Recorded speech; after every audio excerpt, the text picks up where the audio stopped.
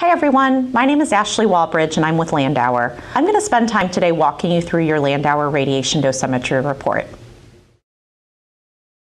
At the top of your report, you'll see a box that shows a couple pieces of important information. First is receive date. This is the date that your dosimeters were received at Landauer. Next is reported date. This is the date that Landauer read and reported your badges. Finally, you'll see analytical work order number, or AWO. Under the title Radiation Dosimetry Report, you'll see your account number. This is the number that you'll need if you ever need to call us and reference your specific account so we can look up what you need and get you help. You'll also see your subaccount number as well as your subaccount code, which is a unique three digit or three letter identifier telling us what department you're calling about. It's also possible that you're not using a subaccount, so don't worry, you just need that account number. If you've ever worn a Landauer dosimeter at a previous account, the participant number that you have now will be different than the one that you used to have in your old Landauer account. Your radiation dosimetry report is broken into four sections, the wear period, your quarter to date dose, your year to date dose, and finally your lifetime to date dose. The wear period refers to the period in which the dosimeter was worn. A monthly wear period, for example, would be July 1st through the end of July, July 31st, or a quarterly wear period would refer to the beginning of the quarter, July 1st, through the end of the quarter, September 30th. The inception date is the date Landauer began keeping dosimetry records on this specific person with this specific participant identifier in this specific account. If you've ever worn a Landauer dosimeter in a different account, your inception date will be different in that specific account than in this one. In the body of the dosimetry report, you'll see each person's name, along with their individual participant number, the type of dosimeter they're wearing, as well as their assigned dose.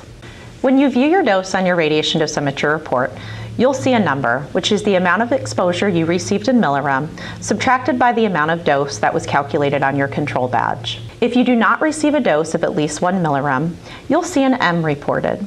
M stands for minimal, meaning that after the control subtraction, the resulting occupational dose was below the minimal reporting capabilities of Landauer's Luxel badge, currently 1 millirem.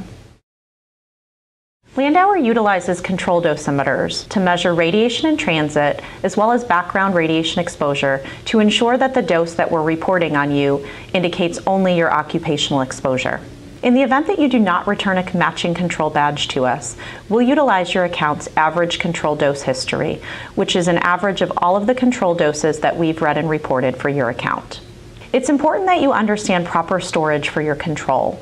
All control badges should be stored completely away from radiation sources.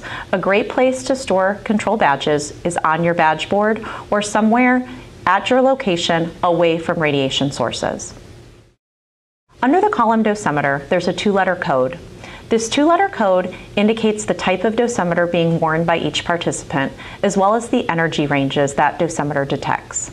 A PA badge detects X, gamma, and beta radiation and can be worn at your collar, on your chest, on your waist, on your wrist, or as a fetal badge.